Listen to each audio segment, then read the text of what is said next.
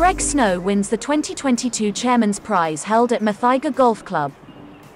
Greg beat the overnight winner by playing 6 under today to win a total of 85,000 shillings.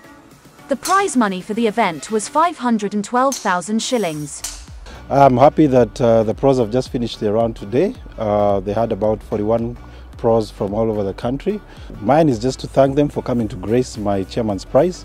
The chairman's prize is going to be happening from next week Friday and Saturday and the prize given on the Sunday. So we said let's promote the Kenyan golfers, the Kenyan pros. They are going to be winning a purse of about 500,000 shillings that they are going to share out based on the performance. Mutahi Kibugu came in second to win 70,000 shillings followed by Riz Charania who took home 60,000 shillings. Professional golfers of Kenya captain CJ Wangai said the tournament was used as a yardstick to prepare pros for the 2022 Uganda Open at Serena Golf Club on October 26 to 29. We have about 40 pros participating and 15 of the pros are going to be paid. This also will serve as a preparation for the incoming Uganda Open, which will be played next week at Serena Golf Club.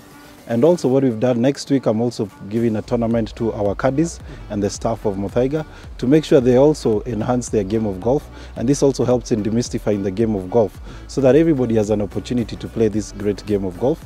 And that way we build it in the country and people, even the juniors will also have a game on Sunday. Mm -hmm. Uh, Sunday morning, we have what we call the Junior Simba League. So we're also going to incorporate them in the chairman's prize. So you can see we've looked at all segments of the game of golf represented in the chairman's prize 2022 Muthaiga.